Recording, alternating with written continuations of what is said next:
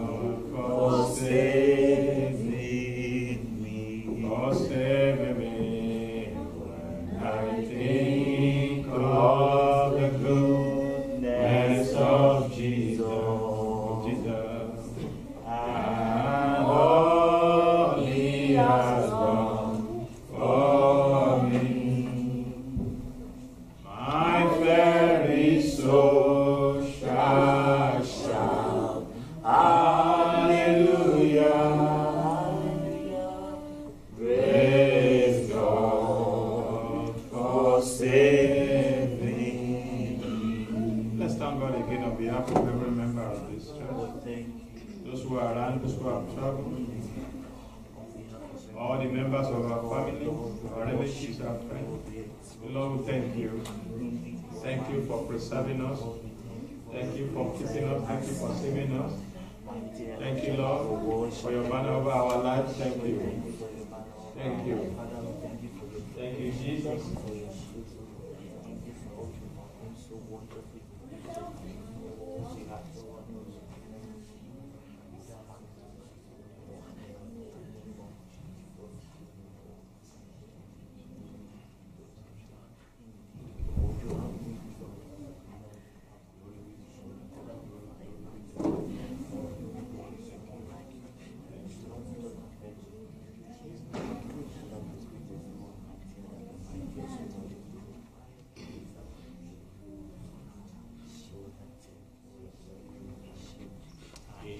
Jesus' name we are praying. We're in the month of May, the month of grace. We're going to talk to the Lord of this morning, Lord, this, this month, Father. Let your grace in our lives be renewed in the name of Jesus. Your grace upon me, let it be renewed. Your grace upon your church, let it be renewed. Your grace towards the church, let it be renewed. Your grace towards all our family, our relatives.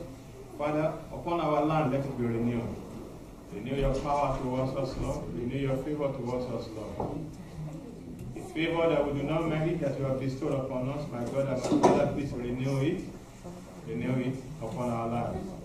Renew, renew our destiny, mighty name of Jesus. Renew our walk with you. Renew our lives in you. Renew us. Renew us, O Lord.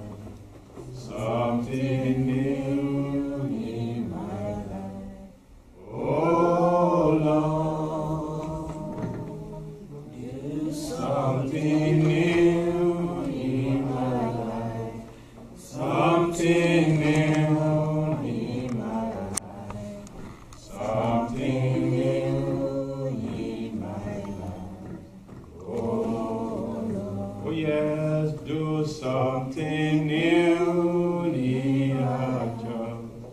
Something new in this moment, Father. I pray, Lord, that I will have an encounter with you. Today, I pray that I will have an experience with you. In the name of Jesus, and I pray for every individual that will step into this assembly this morning. And Lord, each and every one of us will have an encounter with you, will have an experience. We have a new experience of you in our lives, in the mighty name of Jesus. In our individual life and our collective life, Father, we want to have a new experience of you. Lord, as we offer unto you today our lives as a sacrifice, pray that in the mighty name of Jesus, you will accept us. You accept all our sacrifices in the mighty name of Jesus. Lord, we want to see you. We want to have a new experience of you as we gather this morning, Lord. Lord God Almighty, as many that are coming in, whatsoever may be their body, their challenges, Lord. Because in your presence there is fullness of joy, my God and my Father, let them exchange heaviness for joy. In the name of Jesus, let them exchange sorrow for joy. Lord, let them exchange burden for light, oh Lord, in the name of Jesus. As we come into this assembly this morning, Lord, do what you alone can do in. Amen. The lives of all of us, Father. Thank you, Jesus. For in Jesus' name we are praying. Amen. So, Father, Lord, we bless you and we thank you for the privilege again. It is a privilege, O Lord, to have opportunity to see another day and to begin our week in you, Lord. We commit ourselves into your hands. You said where two or three are in your name, you are right there. As we gather, please be with us, Father. Amen. Glorify your name, Lord. Every individual that you have intended to use for today, Lord, lay a special hands upon us. Amen. Name of Jesus, Amen. glorify your name, Father. And Lord, as many people that you will send your word today, Lord, let your word heal, let your word set the captives free, let your word reform, let your word refrain. Lord, let your word heal in the name of Jesus, and let your word deliver. Amen. Lord, let your word promote, oh Amen. Father, in the name of Jesus, in every aspect that is needed, Lord, let your word chastise. Amen. Let your word rebuke in the name of Jesus. Thank you, Almighty God. For we pray in Jesus' name. Amen. Praise the Lord. Hallelujah. Let's be seated. Sorry, uh, most of these equipment are not working well because all the guys doing it are not around us. So just manage.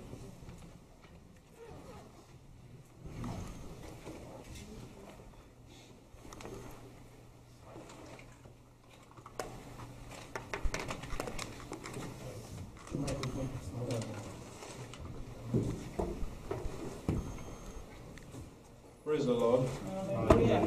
Yeah, we'll just um, go straight into the Sunday school this morning. Uh, we apologize for the equipment not uh, working, so I'll try and be loud as as possible.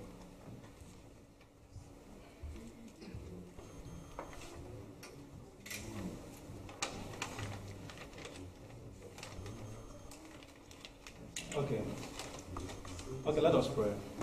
Our Father God in heaven, we want to thank you. We worship your name for yet another day. We give you the glory and adoration in the name of Jesus. Lord, we pray that we commit today's um, activities into your hands, today's service into your hands, that will be Sunday school. Lord, I pray that your spirit will minister to our hearts. So Lord, that you will open our knowledge and understanding, you open our eyes of understanding. Lord, I pray, God, my Father, that you will impart your word into our hearts, O Lord, that we will be doers of the words and not be hearers only in the name of Jesus. Thank you, Lord God, for in Jesus' name we pray. Amen. Amen. Um, this morning we'll be talking on lesson 31, which is, um, is more or less like a continuation of the two previous lessons we've um, undergone in the last two Sundays. It's, um, the title is Here I Am, Use Me, Part 3. So I'm sure we've, we've- done part one last two weeks. We, we did part two uh, last week. So this we'll be talking about we'll be uh, talking about part three of this section of the topic Here I am, use me.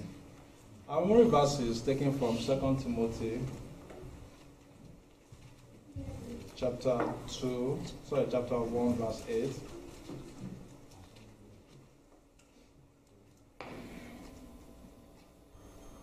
And I'll read. Be not thou therefore ashamed of the testimony of our Lord, nor of me his prisoner, but be thou partaker of the affliction of the gospel according to the power of God. Um, since the memory verse, um, um, I would want to crave your indulgence that we all recite this together because it's a memory verse.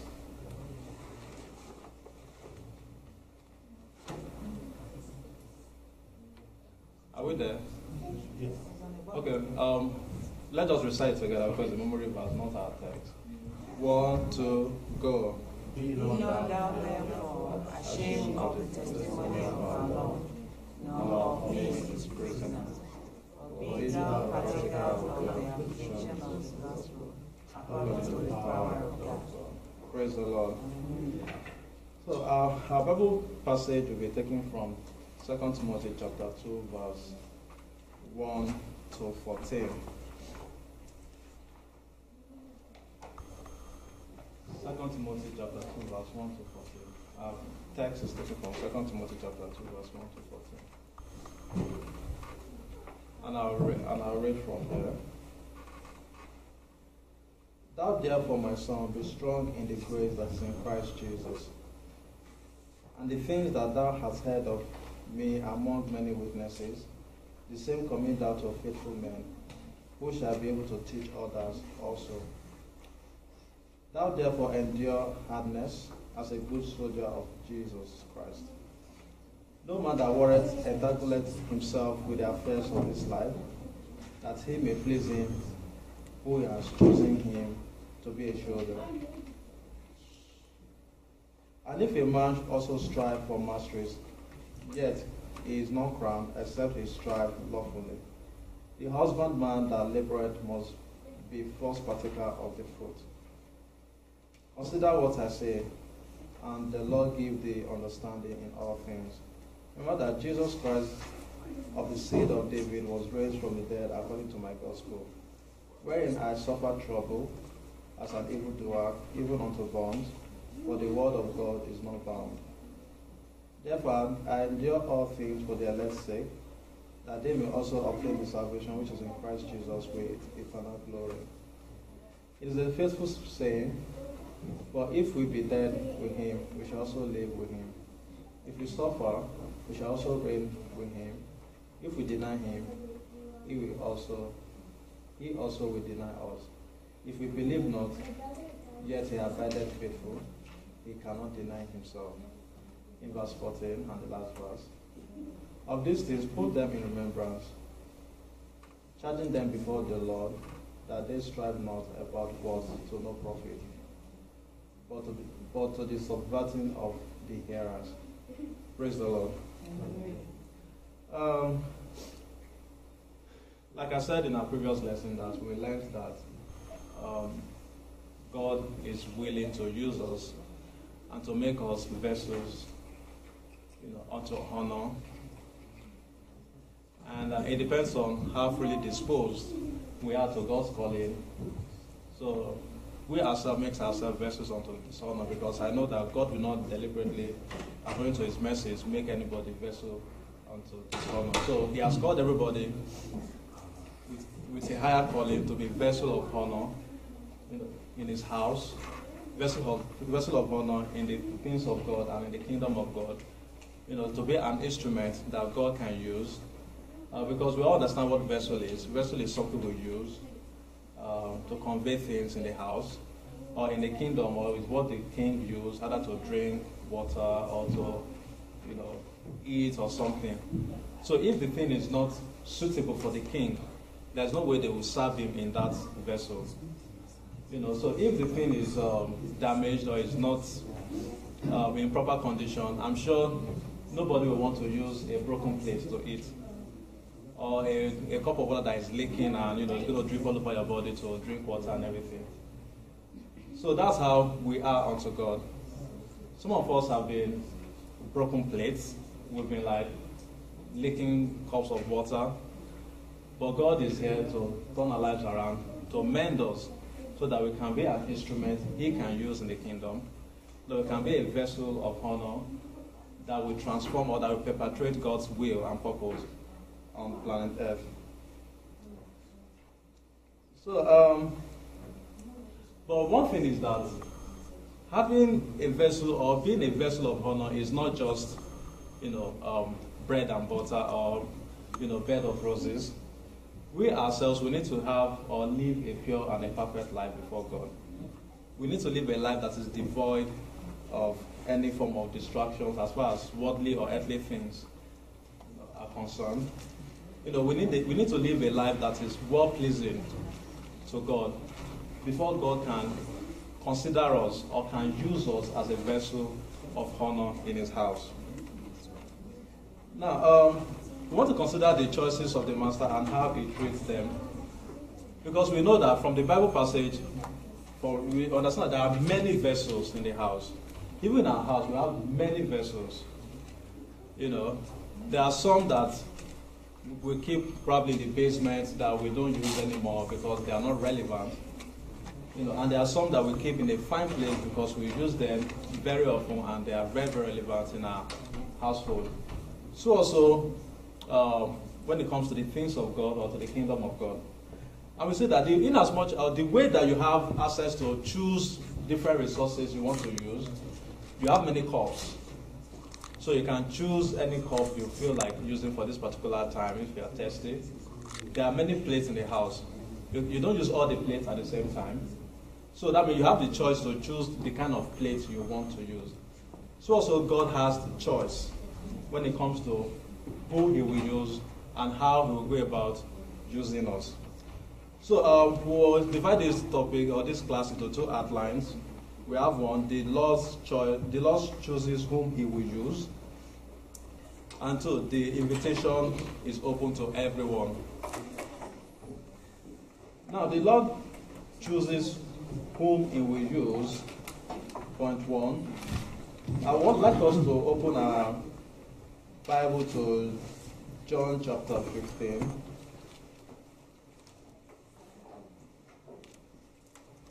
Verse 16. As our part 1 said, the Lord chooses whom he will use. John chapter You 15. have not chosen me, Okay.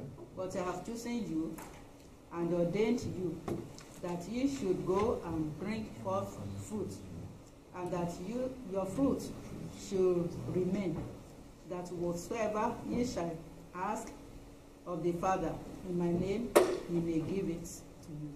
Thank you. So we saw what Jesus Christ said in the passage that you have not chosen me, but I have chosen you. So the choice is of God to make. Um, the fact that probably we come to church this morning is not because you chose to. God chose you to be here. You know, it's not because you felt good this morning and you're like, okay, let me dress up and come to church. So it's my will. But that's not the case. As we read in this Bible, that we have not chosen God, but God chose us and ordained us. When God chooses or makes His own choice of the kind of vessels you know He wants to use, it is pertinent for us to understand that it is not based on popular demand. It's not based on um, democracy. That okay, let's vote. Okay, God, you want to use this person? Everybody, let's vote and decide who God is going to choose. No, God is supreme. He's sovereign. He can use whoever that deems fit, or he deems fit. And when God chooses, it's not. And if I'm interested to know that even God's choice might surprise you, like ah ah. Okay, thank you. Hello? Okay. Even God's choice might even surprise you. Just ah ah. Why now? How come? How come this person or that person? It's because uh, from what we've been exposed or from what we've been made to understand is that everybody wants to go for the best. And the best is not hidden, it's usually popularly known. You know, if you say a very brilliant kid, it's glaring. If, if you say a successful person, you see the, the attributes. You know.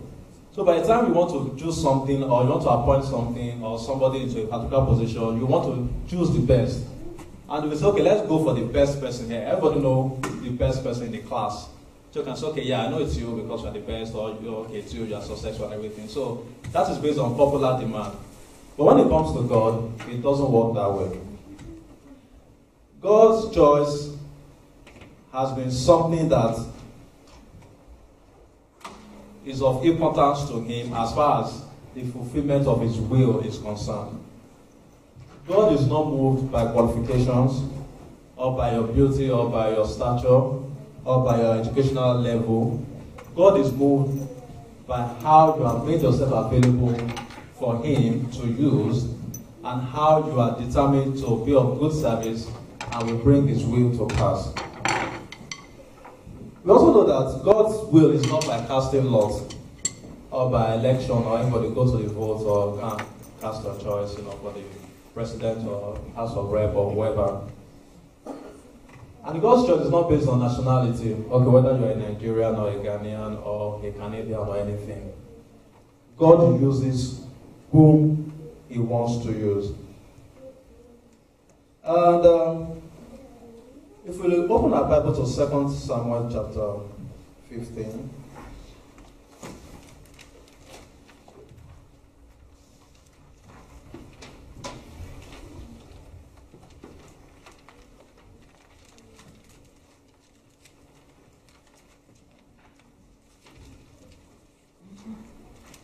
Verse 6 to 7. Second Samuel 15, 6 to 7. Absalom, Absalom behaved in this way towards all Israelites who came to the king asking for justice. And so he stole the hearts of the men of Israel.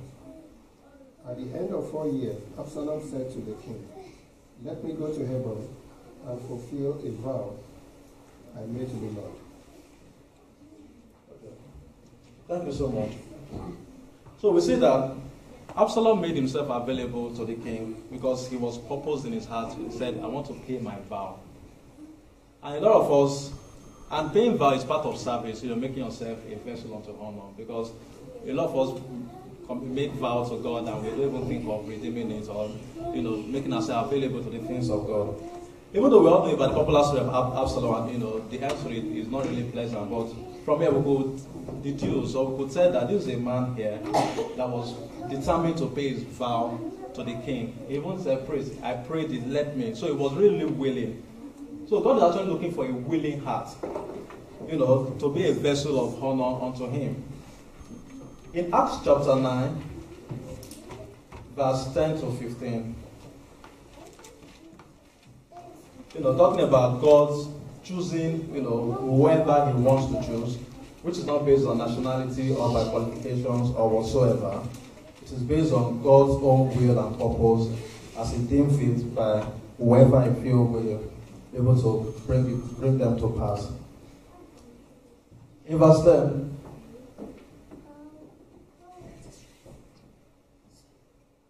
And there was a certain disciple at Damascus named Ananias. To him said, to him said the Lord in a vision, Ananias. And he said, Behold, here I am. And the Lord said unto him, Arise and go to the street which is called Straight, and inquire in the house of Judas for one called Saul of Tarsus. For behold, he prayed. And he had seen in a vision a man named Ananias coming in and putting his hand on him that he may receive his sight. Then Ananias answered, answered, Lord, I have heard by many of this man how much evil he has done to this to thy saint at Jerusalem. And here he had authority from the chief priest to bind all that called on thy name. But the Lord said unto him, Go thy way, for he is a chosen vessel unto me, to bear my name before the Gentiles and king and the children of Israel. So, like I just said, you know, from the previous example, that God chooses whoever He wants to choose, even though in our sight or by our own standard we feel that the person is not qualified for the position or for the task. Everybody knows that Ananias is more like a chief priest, you know, somebody that is well grounded in things of God, you know, someone that is well grounded, you know, in the word of God. And he had a revelation. God spoke to him, go to a particular street, a particular name, a place called uh, Straight, Straight, a particular street called uh, Straight. There's a man called Saul. And asked him unto God, ah, God, how, how do you want to use this man that has been killing your children, that has been killing the Christians? You know, that in fact, he was actually on his way to go and get some um, Christian into captivities and all those stuff. And you want to use him. He's not fit, he's not qualified, he's not, he doesn't have the charisma, doesn't have the wherewithal, he doesn't have the experience, you know, when it comes to the things of God, or when it comes to spiritual things. How can you want to use him? But God said no. God said, God told him that I have used him, he's my choice. So whenever God wants to use anybody, God doesn't want you to think that, oh, that position is for those up there. You know, or you must have been 10 years in the spirit, you know, before I can do this or before I can do that. Or you must have, you know, gone through a particular college or a particular, you must have one certificate or anything in the Christendom or one um, theological school or something. But once you have a willing heart, all what God wants from us is a willing heart. And I tell you that God will, you know, make you a vessel of honor in his house. Then um, we'll go to the second point, which is um, the invitation is open to everyone. One thing about God, that God is a just God. He's fair to all invites everybody, you know, to come, you know, to his table, to dine with him. You know, he invites everybody to be partaker of his blessings. And he will say that, you know, come all, come all, come one, come all. You know, God said, you know, come, let us reason together.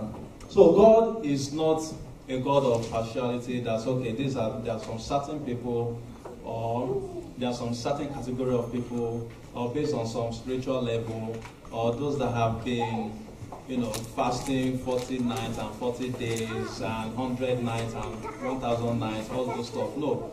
The invitation is open to all, to every one of us to be vessel of honor unto God.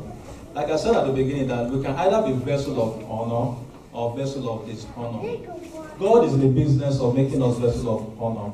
But we ourselves, we are the ones that deprive ourselves by making ourselves vessels of uh, of Son unto God because we are not making ourselves available unto God for God to use. And there are, there are stuff in the house of God that um, we, we, we, can do. Because a lot of us, when we, when we hear about, talk, when we talk about the call of God or say come and work in the house of God or whatever, we always think that it's one big position, something like, you know, maybe the pastor, assistant pastor, or one leadership position. No.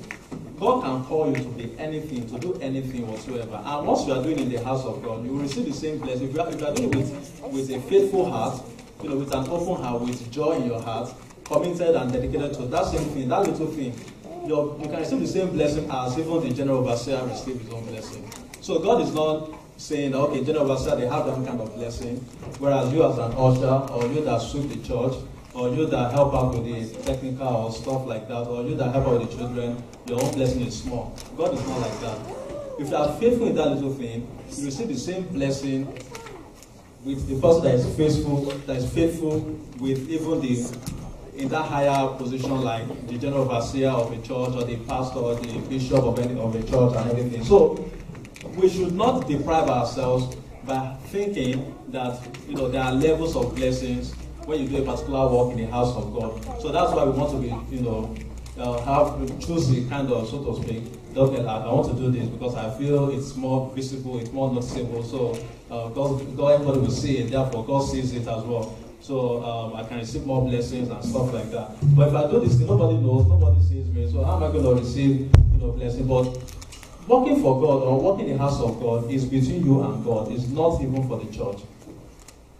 It's not for the pastor. You're not doing the church in favor. You're not doing the pastor in favor. You are doing yourself in favor, you know, working in the house of God. So once you have a heart that is open, that is willing, that is dedicated, that is committed, you know, to the service of God, I'm telling you that the same blessing that the general overseer, the bishop, or the head pastor of a church receive, you will equally receive that blessing because God is not a partial God. The same service that God is looking at.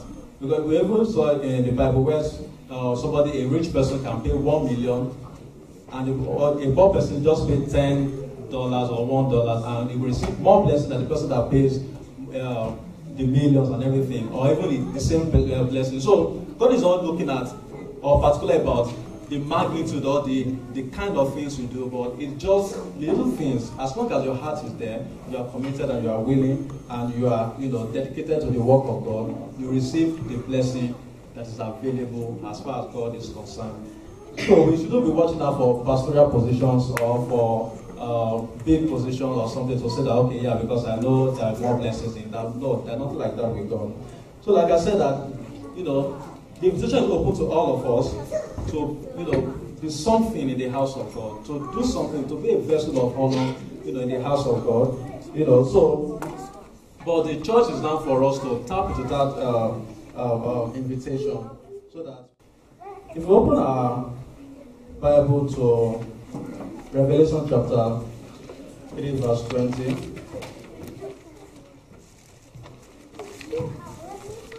I read, Behold, I stand at the door and knock. If any man hear my voice, I will open the door.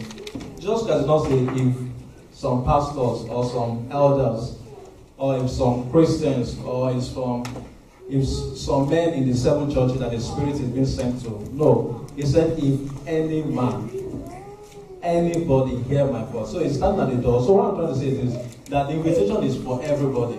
So it's not for you or for us to be laid back, you know, and not to be involved in the work of God or in the things of God. Um, so um, the thing is that what we need to do is to accept God's invitation, is to accept um, God's call. Because I know God has been speaking to some of us, to a lot of us. You can do this, you can do that in my house, you can make yourself available in, in this place, you can but we have just done deaf ears, you know, to the cause and everything. And we are depriving ourselves of the blessings, you know, that is, you know, agreeable to yielding or, to, you know, to obeying, to obeying the word of God or His commandments, or, you know, in working for the Lord. So this is, you know, a clarion call for all of us to know that, you know, as a Christian or as um, a member of the church, we need to make ourselves vessels of honor unto God. Because it is our choice to make ourselves vessels of dishonor unto God. But that, that's not what God is good at. God is good or is in the business of making people vessel of honor. Um, I want to liken this invitation to all, you know, to like um, a situation in Nigeria. I'm sure a lot of us will understand what JAMB is and what um, post. But you know, they just had the post UME issue and um, um, a lot, a lot of us did not really partake, you know, in the post UME exercise. But it's something that I want to really illustrate. Um, the JAMB, JAMB is uh, Joint Admission and Matriculation Board, you know, that organizes uh, university matriculation examination, which you do before you enter the university. You must write. Anybody that is a graduate has written JAMB at one point or the other. So when there is when it's time for to write the exam, so the invitation is for everybody. Just go buy the form, you know, go for the exam, study, read your books. When it's time for the exam, you write. So there are no there are no discriminations, there are no limitations, there are no criteria. Once it's time, just go by the form. So it's not like okay, you must be this, you must be tall, or you must be short, or you must be fair, or you must be dark, or you must be in Nigeria, or what anything whatsoever. So when it's time for the exam, the invitation is open for everybody to come and write the exam. So by the time you write the exam and you pass, because for you to go to university, you have to pass the exam. Then at that point, the university will contact you and schedule you for another level of exam, which is called post UME. So it is that exam that you you have to equally write that exam as well. You know, so after writing the exam and you pass, then you can now go to the university proper. So what am I trying to, you know, say using this analogy? I'm saying that the invitation is open to all, just like the way JAMB is, that is open to everybody to come and write. So by the time for us Christians that we give our life to Christ, you know, we surrender our life to Christ, we become Christians, born again, that's when it's like we passed our JAMB. You understand? So give your life to Christ because the call is the call is open to everybody. God has sent the message to the world. You know, go and preach the gospel. You know, invite everybody. Uh, give them the message. Minister to them. You know. So giving your life to Christ is likened to passing your JAMB exam. So by the time you pass your JAMB exam, so it, the next level is post UME. Now you are a Christian. Because when you pass JAMB, you are ready for the university. But you are not yet in university. But when you give your life to Christ, you are a Christian. You are a born again Christian. So you, then you are now available for the work of God.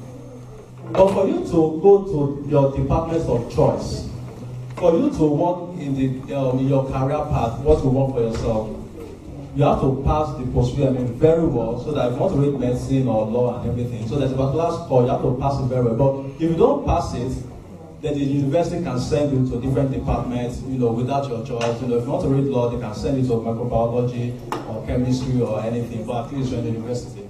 So that's how it is when it comes to the work of God. We are Christians, we've given our life to Christ, it shows we pass JAMB. But the level of our preparation, the level of how we are committed, the level of how we are dedicated, the level of how we make ourselves open to the work of God shows how God will assign us, you know, to different positions in His house. You know, and, and the thing is that once you pass, you know, the post it's automatic. You are in the university, so you are in the house of God. It's likely to be in the house of God, being a vessel of honor.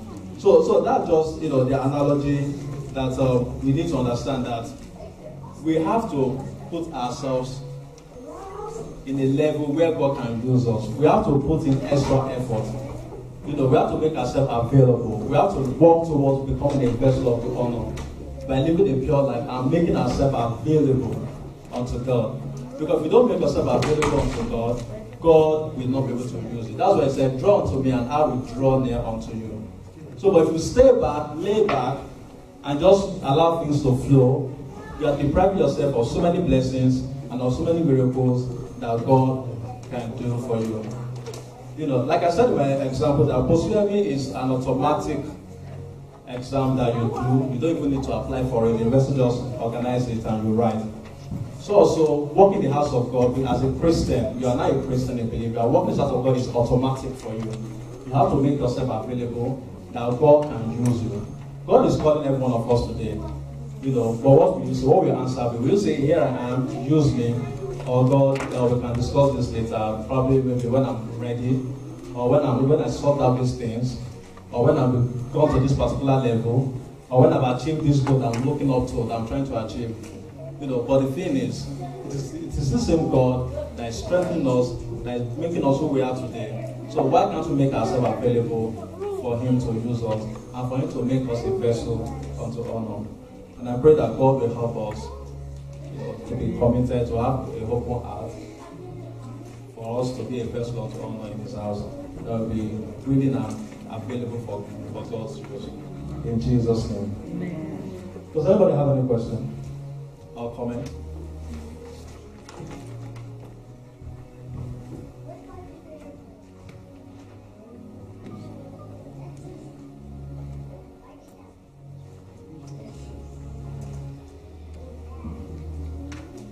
Anyone?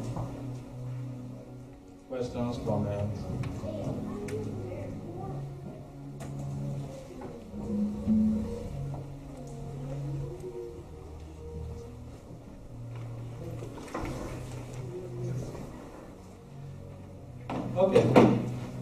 Conclusion, I would say, you know, I would like to re-emphasize that passing JAMB and post-UME is automatic admission for university. You know, and what is seen as giving your life to Christ is automatic for being used by God, except you've not given your life to Christ.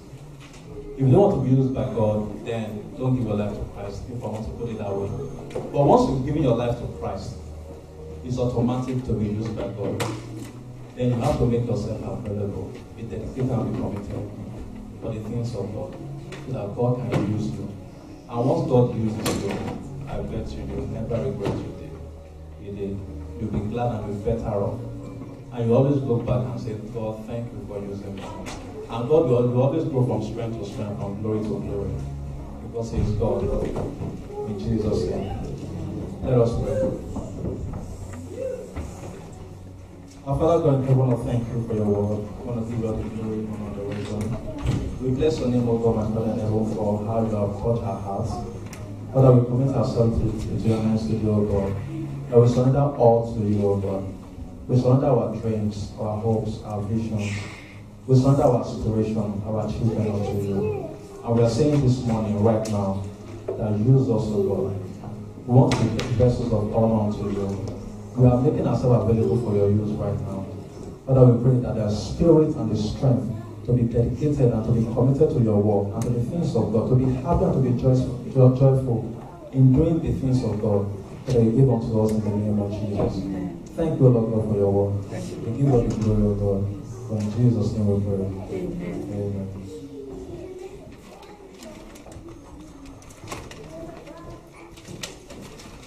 Hallelujah. Praise the Lord. I want us to rise to our feet.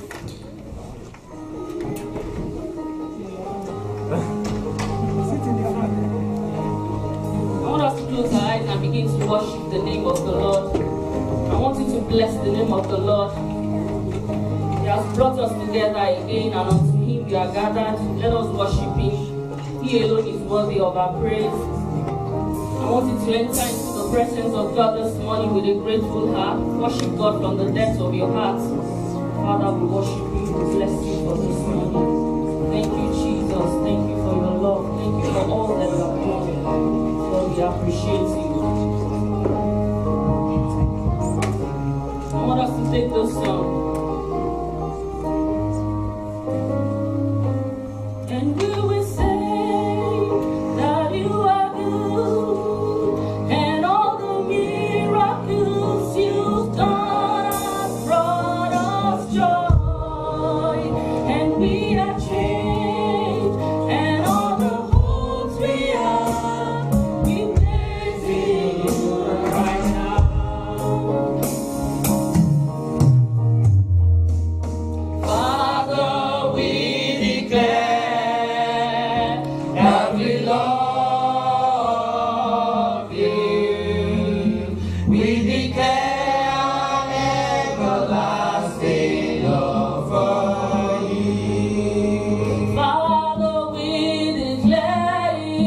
Bye.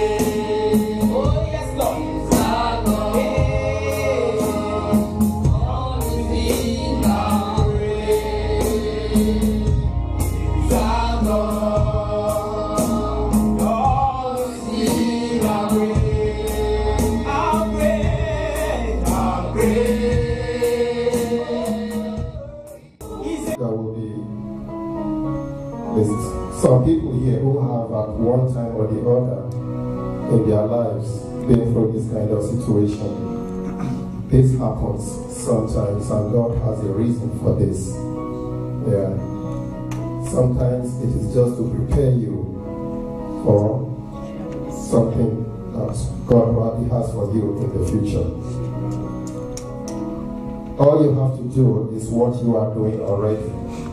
Just hold on to God. Don't lose that faith. Don't lose that faith. That is all that is important. And God will always see you through. I will want every one of us to just stretch our hands to Brother Easy. Let's just give him some prayer. Let's pray that God will continue to strengthen him. Let's pray for healing for his grandmother. Let's pray for healing for his dad. Let's pray for strength for his mom. And as many people in his family that also need his strength, that need the power of God, the presence of God in their lives, for any kind of solution they are looking at God for. Let God do this for them in the mighty name of Christ Jesus. Our Father, our God, we just bless thy holy name. We worship the Heavenly Father. For thy Son, Heavenly Father, we, we just give thee all the glory. How you have delivered the Heavenly Father from darkness, you brought him to light. And we pray, Heavenly Father, that in light you shall continue to keep him in the mighty name of Christ Jesus. He shall not go back to darkness in Jesus' mighty name. And Father, Lord, every desire of his heart, Heavenly Father, even if there's any other thing here that troubles his heart that he did not even say today, Father, Lord, you know it. As many things, Heavenly Father, as he's looking up to you for, Father, Lord, perform these miracles again in his life in the mighty name of Christ Jesus. Make him strong, make him happy, make him a vessel of honor unto thee, make him worthy before thee, make him worthy before all men, make him worthy before all women, make him, make him worthy before all children, make him worthy before everyone, Father, Lord, and use him mightily for thy great works in Jesus' mighty name. Do this, Father, Lord, and take all the glory. Amen. Amen. And just very quickly, Brother Jimmy says he has a short testimony for us. Praise God. I don't think I need to sing here some other songs. I just want to thank God and I want to let the people of God know that it pays to serve God. And by being uh, members of this church, we are not losing anything at all. I've tried it, and I've seen that the Lord we call upon on this altar, the Lord we serve in this church is a God that answers prayer. I want to thank God that on Friday at the house fellowship, I think the last prayer point we had was that nobody was going to die this year. And nobody died an untimely death. I want to thank God that God did not allow the devil to use me to give bad name to uh, our friends. You know, our friend, uh, one, of our friends just left for head. So we're supposed to bring their loads to them on Saturday. So myself and the uh, brother Landry, uh, Nifen is daddy. So we left very early enough. I think we left around the one, I mean, got after one, the morning of Saturday. The journey was, I mean, smooth. And after Paris, it started snowing every day. So we dropped our speed. Uh, just one kilometer after entry the way to Calgary. Uh, Bro, can you it? So we just, I mean, we were just good at, I think, around 80 kilometers. We just fell off the The truck, that was the last position of the truck. And then we tumbled about five Wow. Can you roll it? Maybe you show the last one. See where it was, uh, this place. I was sitting here at the passenger side. You know? Show the last one. The last one. to the glory of God, the two of us came out without a single scratch. Without a single scratch. I mean, that's think you can see it. It happened around uh, 3, 3, 40, uh, 3 30, 3 40 in the morning. And we called the 911. We were there for about 4 hours. We couldn't continue with the trip. We had tow back to Calgary for the journey to continue probably on the month. So we came back home safely, yes, and peace. I mean, what, what, what, where do I start? What do I say? That is just little Michael there. They will now be showing me my picture. Yeah? So, I mean, the God we serve in this place is a God that answers prayer. If you don't believe it, brother and sister, go and believe. See, there is no alternative to God. Don't, don't, don't join any other thing to Him. The only thing you need to, like, like we were discussing on uh, Friday, trust, we were talking about trust and believe God or something. That is the only thing you need to do. Just believe God. Just put your trust in Him. He said it in the scriptures. Once you put your trust in Him, I will never ever put it. This God we are serving.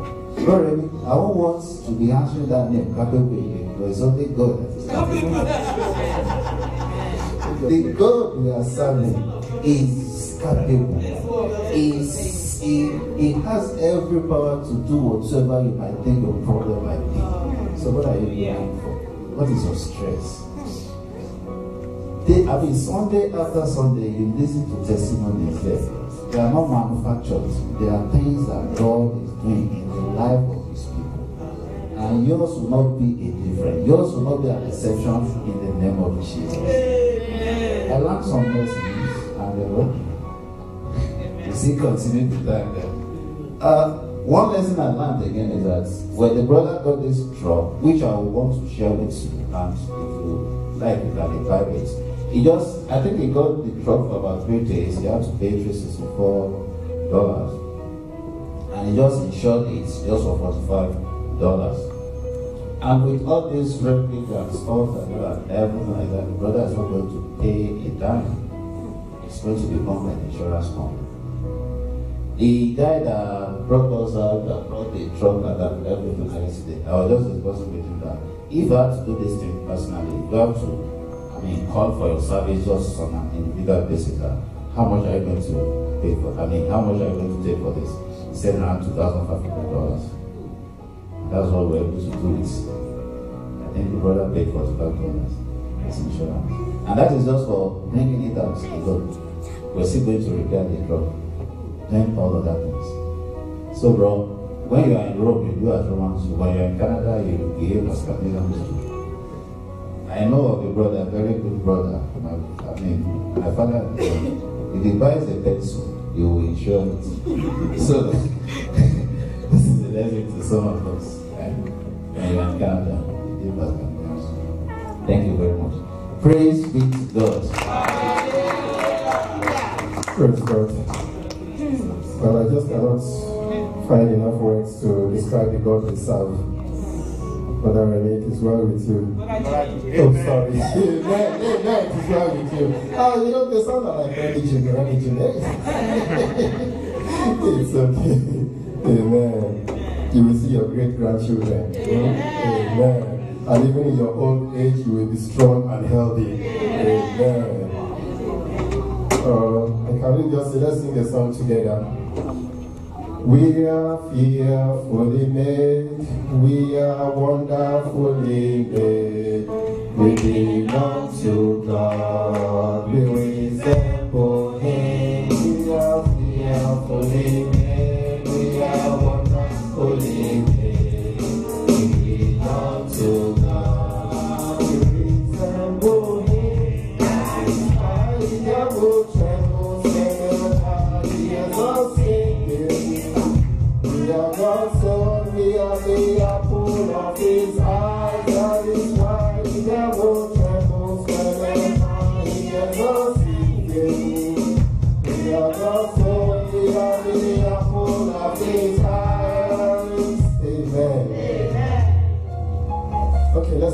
thank God for these testimonies. Father and God, we bless thy holy name. We worship the Heavenly Father.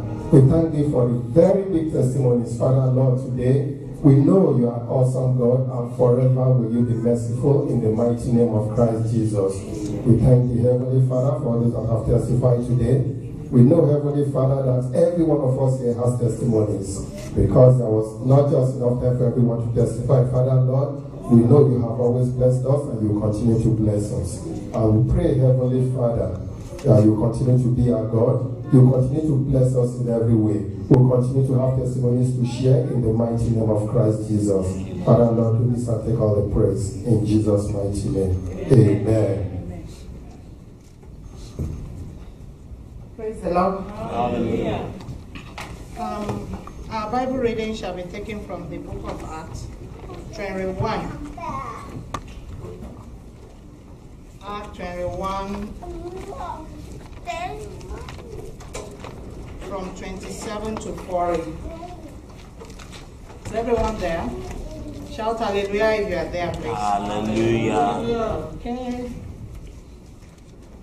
Act 21, 27 to 40. So I read. Now, when the seven days were almost ended, the Jews and from Asia, seeing him in the temple, stirred up the whole crowd and laid hands on him, crying out, Men of Israel, help!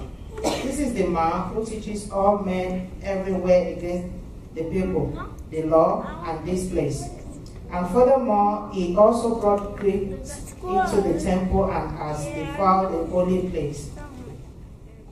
Chapter 29. For they had previously seen Trophimus the Ephesian within him in the city, whom they supposed that Paul had brought into the temple. And all the city were disturbed, and the people ran to, together, seized Paul, and dragged him out of the temple. And immediately the doors were shut.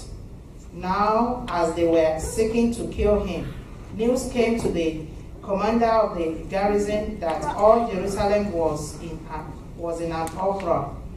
He immediately took soldiers and centurions and ran down to them. And when they saw the commander and the soldiers, they stopped beat, beating Paul. Then the commander came near and took him, and commanded him to be bound with two chains. And he asked who was and what he had done. And some and some among the multitude cried one thing and some another. So when he could not ascertain the truth because of the tumult, he commanded him to be taken into the barracks. Chapter 35, uh, verse 35, brother. When he reached the stairs, he had to be carried by the soldiers because of the violence of the mob. From the multitude of the people followed after crying out away with him. Then, as Paul was about to be led into, into the barracks, he said to the commander, May I speak to you? He replied, Can you speak Greek? Are you not the Egyptian who some, some time ago stirred up a rebellion and led the 4,000 assassins out into the wilderness?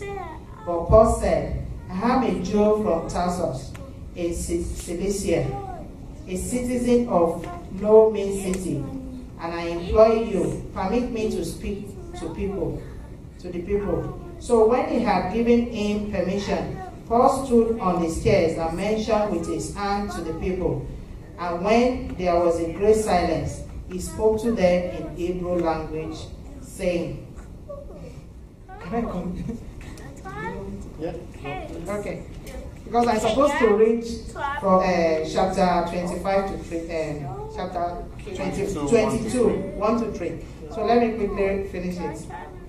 So, brethren and father, hear my defense before you now. And when they heard that he spoke to them in Hebrew language, they kept all the more silent. Then he said, I am indeed a Jew, one in Tarsus of Cilicia, but brought up in this city at the feet of Gamaliel, taught according to the strictness of our father's law, and was serious towards God as you all are today. Here is the word of God. Praise the name of the Lord. So we take the hymn during the offering. We don't have a lot of time left to us to use, but it's been a time well used in the presence of God. I believe God has spoken to us in different form and shape today. He had encouraged us, He had uh, rebuked us in some way, and He has stirred up faith in our hearts. And to Him be all the glory in the name of Jesus. So, to, to the choristers, when we take the hymn, when we are collecting the offering, let's bow down our heads to pray. Our Heavenly Father, we thank you very much for this day. We thank you for the very first Sunday in the month of May. We thank you for your grace that has remained available unto us. We thank you for your compassion upon our life. Lord, we ask that you take all the glory in the name of Jesus. As we spend the next few minutes going through your word, we ask that your spirit will lead us. We have that the spirit will guide us. We have that everything that we shall do will bring you glory in the name of Jesus. In Jesus' name we pray. Praise the Lord. Praise, praise, praise the Lord. I think all that has happened today has uh, been awesome and great. And it goes back to confirm that God is indeed in his house. And you do have an opportunity not to be left behind because things of God are not child play. God is a God that means business and he deals with people who wants to remain steadfast. Because of time, I'm going to try very, very hard to kind of summarize what God has laid on my mind to preach this morning. And actually, Anderson and Eze has helped me a bit to do part of the speaking that God wanted me to pass across. So I'm going to cut a lot of it. And you'll be wondering that why do we have to read that account in the book of Acts? How does that tie into uh, Thanksgiving? Because this is supposed to be a Thanksgiving Sunday. But we've got to bear in mind that we are led by the Spirit. And sometimes the Spirit of God asks us to go in different directions. So today, what God has laid on my mind to talk about is what I call the characteristics of a growing Christian. The characteristics of a growing Christian. And we're going to get there, but like I said, because of time, I'm going to cut lot of stuff that I put down to discuss. But I suppose the first thing that will go into your mind is that why this? On Thursday, I was going to Medicine Hat with my director. He's quite new, he came from Ontario, and uh, we had a lot of time in our hands. And he said, Rebbe, let's talk in any nearby, any nearby hospital. Just take a look. Of course, the kind of ID badge that I have, we open, I'm not making it up. I can open any door in the whole of Southern Alberta once I just put my ID card there. I mean, they know me anyways. He's new, he wanted to be known as well. It's okay. I will mention the particular hospital where I was stop.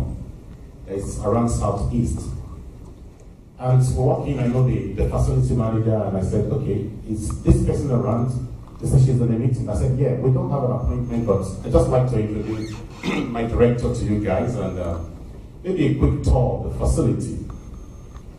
We were met with a lady who had worked in that facility for 35 years, so we didn't know what, we were, what was going to come upon us.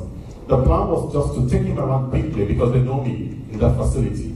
Just take him around quickly, but this lady spent 30 minutes taking us from one unit to another until we said we've had enough. Now, she took us to a place that I know very well, and I've been to that across the South Zone from Mexina to Oyen. I've traveled the whole of Southern region so well. I'm also the help here and here will agree with me that uh, if you go to the Special Development Unit, you'll be challenged. The SDU unit is a place where you find people who are 60 years old, but they behave like two years old. They just refuse to grow. The problem of my height but when you see them interacting and relating, you doubt whether they are five years old. These are just people who are not growing. Probably they are growing physically, but their brain refuses to develop. So, what you expect a 60 years old to do, what you see these people is that they are doing like six days old. I have been there before. I remember the day I met Sister Ngozi from my club when I came around that. I think you were next to you as well. That's the kind of setting I was talking about. But this one took me aback because they have over 50 people in that, over 50 residents. And this hospital was built in 1957. So the girl that was taking us around said, pointed at one of them. He said, from the day they opened this facility, that patient has been there. She's about close to 70, but refused to grow. She's just there. They are feeding her. She's just like tiny teen, almost 70 years old. So we spent a few minutes there. People were doing all sorts of things to them, so we went round and round and round. And when we left, when we get back into the vehicle, I couldn't talk for the first five minutes because what dropped into my spirit when we left that place is that this is what the life of some Christians are. They just refuse to grow. And when people fail to grow, so many things happen. I like to say because today is Thanksgiving Sunday, it will be extremely impossible for a Christian that refuses to grow to give thanks to God. Because a Christian that is not growing will not see the reason to thank God. Somebody turn with me to the book of 1 Thessalonians chapter 5 verse 18.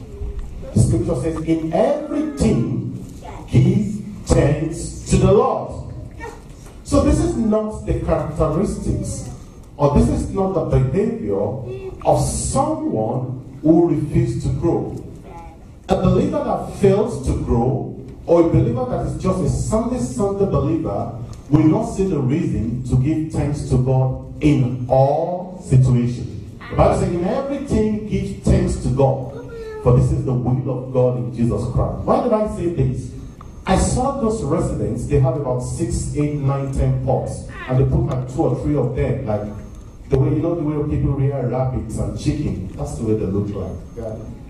And it's even hard for them to say thank you for people feeding them because they are not growing. So one of the characteristics of a believer that is not growing is that a believer that is not growing as a Christian, I'm not talking of physical growth this morning or this afternoon. I'm talking of spiritual growth. I'm talking of a believer that is coming unto maturity that stays consistent and that is developing in every aspect of life. They will find it extremely difficult on a Sunday like this or any other day of the week to give thanks to God. Talk less of the men they see around them.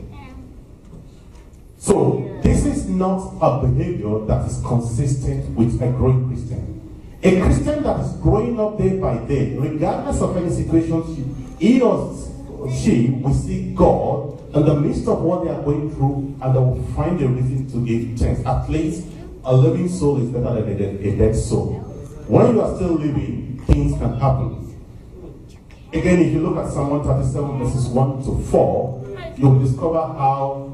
Let's, let's read that verse before I quickly. I'm going to just read a couple of many things, like I said. Psalm 137 verse 1 to 4. One of the characteristics of a great Christian is that in everything they will be able to give thanks to God. But let's see what happened in Psalm 137 verses 1 to 4. Anyone can read, please? So by the rivers of the Babylon, There we sat down, yea, we wept, yea, we remember Zion. Verse 2. We hang our hearts upon the willow and the midst thereof. For there they that carried us away captive required of us a song, and they that wasted us required of us a man, saying, Sing us one of the songs of Zion. And verse 4. How shall we sing the Lord's song in a strange land? They refuse to give thanks to God. What if they've been killed? So one of the features of a believer that refuses to go and is staying at one point is just a Sunday, Sunday Christian is that they will never learn how to give thanks to God.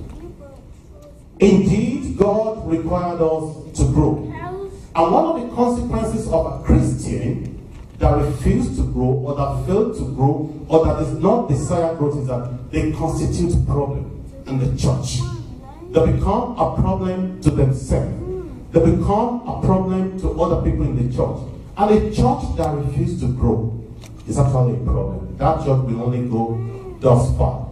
And that is the church where you see all sorts of things. One of the things you see is that there will be strife, there will be envy, there will be ignorance. And some of the Christians that refuse to grow from the day they give their life to Christ become a stumbling block to other Christians. And indeed, we have been encouraged to grow. So what I'm trying to say this afternoon is that after leaving that place, and I look at those things, and I got that inspiration that that is the way life of many Christians are. They just refuse to grow. They are just on the same spot every day, and they can be blown away by every wind of doctrine. Are you a Christian like that this morning? God is challenging you. Like Anderson was saying about the vessels in the house of God. What type of vessel are you? Can God count on you? Can God rely on you? Are you reliable at all? Are you just taking God for granted? Sorry, I'm sounding very, uh, a little bit on the hard side. But I think today is the day that God has decided to tell us the truth in a different way. Right from the and worship to testimony time to everything we have done, God is just out for us today. And the Bible says, faith comes by hearing, and hearing of the word of God. John said in the book of Revelation that the church that has ear, let him hear. So this is not a question of they are talking about me. If they are talking about to make the change that needs to happen. So God desires that we grow from level A to B. Imagine you have a child that refuses to grow. In the hospital every day. Imagine you have a six-year-old that is just like a two-month-old. Where will you be? You'll be concerned, you'll be worried. So God is concerned and God is worried and God is interested in our growth. So today I want to share a few things with us around what I call the characteristics that are consistent of a growing Christian. Of course, I'm not saying you are not growing. From the book we read this morning, the book of Acts chapter, uh, chapter 21 verses 27 to 40, we find Paul in a situation where his growth in Christ was challenged. We found Paul in a situation where he needed to demonstrate the virtues and the quality of a believer that is growing. i tell you one thing, a believer that is not growing, they just their Bible they bring it to church on Sunday and they bring it to, to church on Sunday. Not in the course of the week, there is absolutely no connection, no relationship with God. So they are good on Sunday. But after Sunday, nothing to write home about them. A believer that refuses to grow is a believer that has no connection with God. They just want to bear the name, I've given my life to Christ. It goes beyond that. Are you a believer that God can look at and say, Yes, this is my daughter. Yes, this is my son. I've said it before. Are you a believer that God, when He brings His X-ray machine into this room this morning, I said, Let me X-ray your heart. Would you like your heart to be seen by everyone? Anyone here this morning that when God brings His X-ray machine into this by everyone, the public? No one. And it's the challenge this morning and the need for us to have characteristics and to develop abilities that are consistent with Christian living. In that book we read, Paul faced tremendous opposition. He was not welcome. Nobody wanted to see him. And things went from uh, initial challenge to the very extreme where were actually beating him literally. But Paul demonstrated some of the characters that I will talk about in the next five minutes. If we look at that verse, um, let's turn, can you please go back to Act 21, verse 27. If we look at that book very well, the first thing that Paul demonstrated was that he showed love in the face of opposition. One of the characteristics of a growing Christian is that even in the midst of opposition, they still show love because God is love. Where are we? I talked about projecting Acts 21. I can share my slide with you afterward, maybe. So, and when the seven days were almost ended, the Jew which were in Asia, when they saw him in the temple, stirred up all the people and laid hand on him. I was going to go to verse 40, but maybe I'll just keep going from here to save our time. When everybody surrounded him, when things were against him, Paul showed love. He did not, because if you know Paul before, and this is the, line we need to draw. If you know this man called Saul, up until this time, he was a no nonsense man.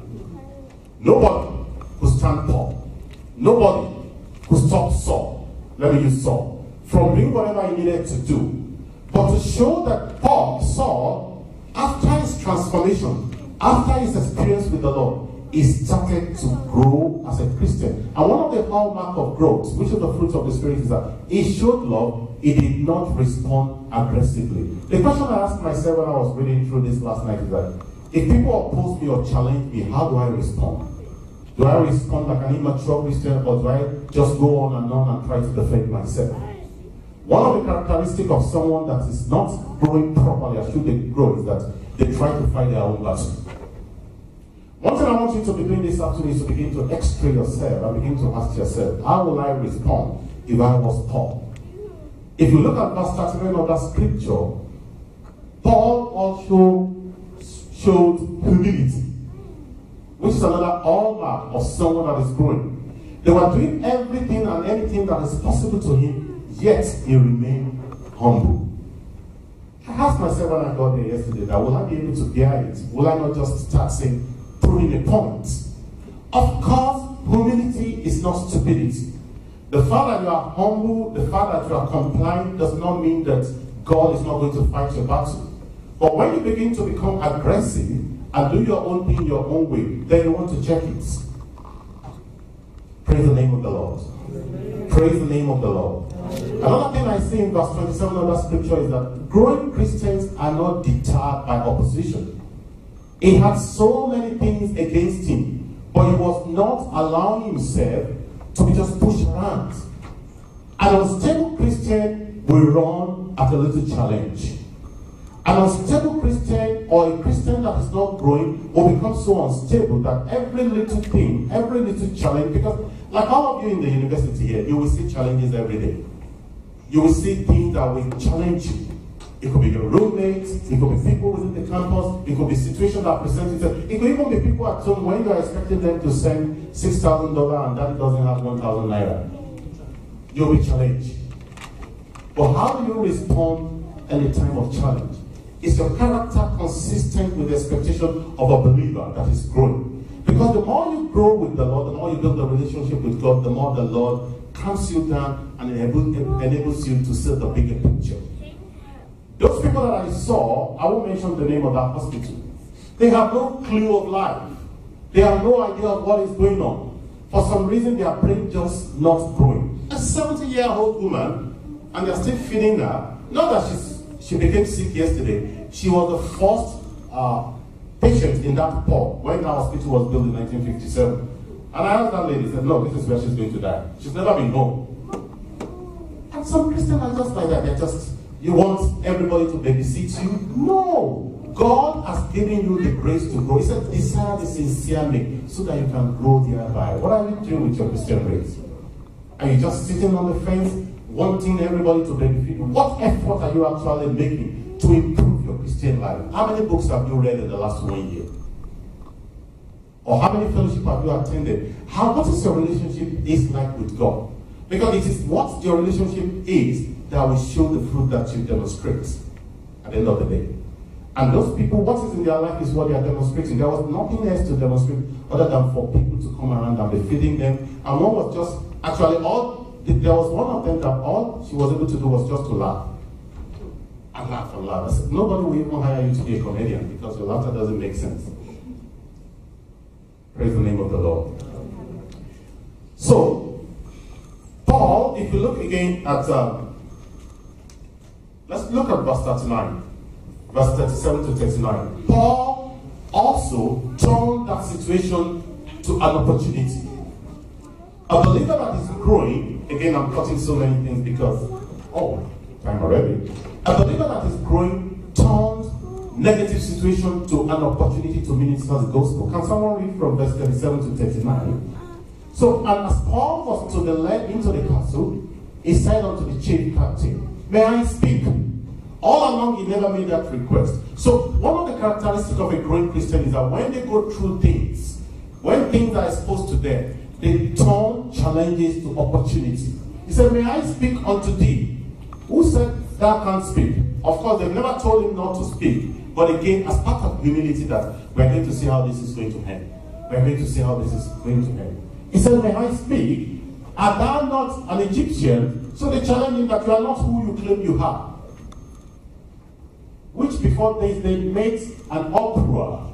So they were trying to attack him, which is past, which is past life. Again, one of the characteristics of a Christian that is growing is that they are never held to ransom by their past. When you continue to celebrate your past failure, you want to check your Christianity again because when God has forgiven you, He has truly forgiven you. So they were trying to stigmatize Paul. They were trying to make Paul to dwell on the past mistakes, on the things he has done in the past. You know what? When God has forgiven you, you've got to move on. Because if you don't move on, you will form a pity party, and enemy will continue to batter you. And that's why you see people they give their life to Christ over and over and over again. It is immaturity.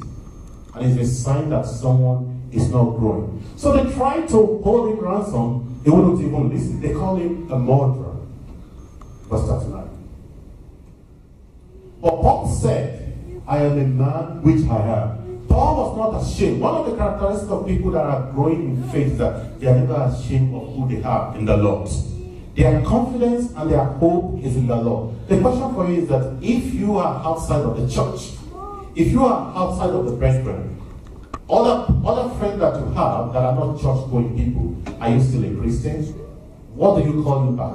What do they address you by? So Paul said, I am a man, which I am, a Jew of Tarsus, a city in Cilicia, a citizen of Nomi. I beseech you, suffer me to speak unto the people. So one of the characteristics of behavior of a growing Christian is that they look at every situation and they turn it to an opportunity to preach the gospel. They don't just chicken out, they don't just back off. It turned that situation to an opportunity to minister the word of God and also refuses to compromise his faith. Because all along, things that were happening around him, they were just enough to say, okay, I don't even know that Jesus. Even Peter, he compromised. So the challenge for you and I this morning is that, am I really growing? Am I only good on Sunday? And I want you to get it right. Growing as a Christian is not just being busy. You cannot equate the fact that I stand in front of you speaking, meaning that I'm growing. It's part of it. But you cannot equate the fact that I beat the drum every Sunday, every Thursday, every Friday as growing. It could be activities that are necessary to be done. But what is your relationship with God like? That is the, that is the point this morning. What is your relationship? What is my relationship with God? Am I like those people? Am I truly growing? Have I said bye bye to those things that I've done in the past? You know what keeps us going as Christians is that our continued relationship with God is a life of fear. Christianity, being born again, being a child of God, is not a contract of 20 years. That okay, after 20 years, I'll, I'll be free to do what I need to do. No, the only time you'll be free is when you're actually free, except if you're not using your freedom to glorify God. So if God should come around to stay and ask, what is my relationship with you? Don't we really have any relationship? Are you exhibiting characteristics that are consistent or that conforms with a child of God? What are you going to say to God? Are you able to trust God that in spite of all that is happening around me, I know God is going to vindicate me? Paul kept on trusting. Paul remained calm. Paul did not let go of his dominion. He wasn't letting go of his personality. He wasn't losing his mind in spite of all the things that were happening around him. All these things that Paul demonstrated in that verses of scripture we've read, they are the result of the fact that he was growing. Because if he was to be the soul of the whole, no, they can't do that.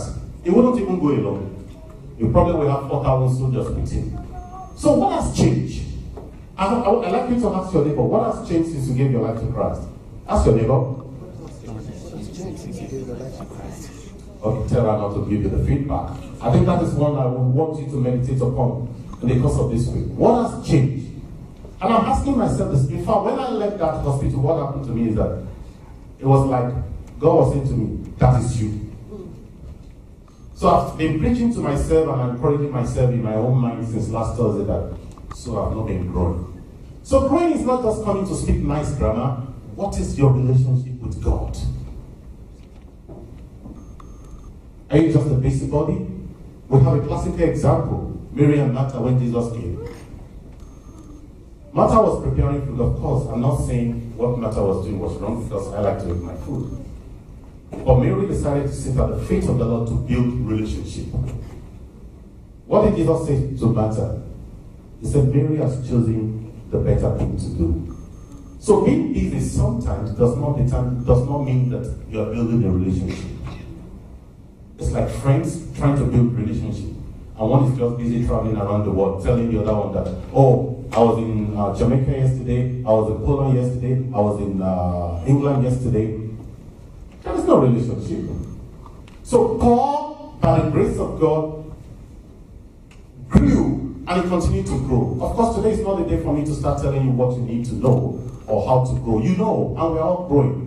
But what I want us to challenge ourselves with as I round up today is that what is my relationship with God? How will God rate? If God should come and do five star rating, how will God rate my relationship with Him? Or how will I rate my relationship with God? Am I just busy? Am I really growing? Am I like any of those people? Am I really developing? Am I really growing? Am I growing in grace? Am I waxing strong and stronger and stronger and stronger as a Christian? Or am I just a bench woman? What is your relationship with that God? Let us pray. Heavenly Father, we thank you very much for this afternoon. Lord, we thank you because you have spoken to us in various ways already. And Lord, here we are, you are challenging us to review our relationship with you. Lord, we know you are not out to condemn us, but to encourage us and to challenge us to bigger. So, Lord, as we proceed in the journey of our Christian faith, Lord, the grace to constantly evaluate our journey with you, our relationship with you, Lord, give unto us in the name of Jesus. If there is anyone in the house struggling with a relationship with you, who does not know whether they belong to you or they belong to the world, Lord, we ask today that you help such one in the name of Jesus. Lord, we ask that you that help Saul